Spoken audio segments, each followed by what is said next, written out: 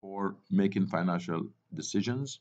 This is your business math course, and this is we're gonna be covering chapter 9 and 10 uh, and 12. We're gonna we're gonna skip 11, okay, because it talks about premium insurance and it's already been talked about in other chapters. So we're gonna um, to be able to, to finish as much as many as sorry as many chapters as we can. So we're gonna skip chapter 11. So now chapter 9 uh, uh, it talks about the sticker pricing of a new vehicle. So it has seven sections in it. Uh, after like the sticker price is the price that you see it on a, on a, new car. So if you go and buy a new car, you see a sticker price on top of it, and on, on, the glass, for example, the wind, window, uh, the shield, uh, and then you're gonna see the the dealer's cost. Uh, we're gonna be talking about the dealer's cost of the new vehicle. So this is you're not gonna see definitely on the sticker price. Uh, the dealer has a cost. I mean, definitely the dealer has needs to buy a car and sell it for a profit. So he's not going to sell it for the same amount that he's, uh, you know, he's not going to buy it for the same amount that he's selling. Now we have also to calculate the average uh, retail price and the wholesale of a, a, vehicle. For example, if if if you uh, if you buy one car different than you buy more than one car at the same time. So there's a different uh, selling price for a, for a one car or a wholesale car. Okay.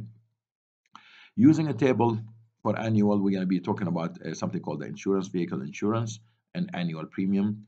Uh, this is a table that we, I'm going to be showing you later on in, in class, and is how you calculate the actual, the final amount for the insurance. Insurance depends on your age, it depends on the uh, the years of experience of uh, driving and all that. So it makes uh, and and how, what kind of coverage you want. So Chapter uh, 9 talks about also the average cost of running a, of, of having a, a, vehicle. You have you know the uh, the cost per mile. You have uh, for example you have something called uh, variable cost and fixed costs. So we need to know this. The total cost of leasing a car. Let's say you wanna you wanna rent a car or lease a car. Remember, there's difference between renting and leasing in a, in a technical form, there's a difference thing. So leasing is usually for a longer period. Renting is only you're renting this a couple of days, for example. Leasing, you could you could lease a car for years, right? For three, five years, up to you. It depends on you. So now, chapter 10 talks about getting a loan. This is very, very important chapter. Like also, you probably we're not going to cover all of it because, like I said, there's a lot of things in common. So we need to cut down on other things that is repeated, so it, you won't be bored of it. So we're talking about a mortgage. You're buying a house. You need to take a loan for the house. How to find the payment for the house.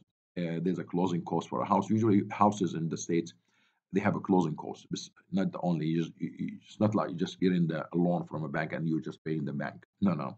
There's extra cost that you have to pay.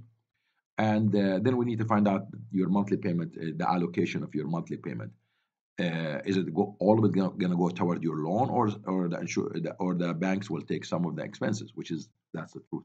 So the bank will take some of your payment monthly payment as an expense or for on you which is interest uh, another word interest.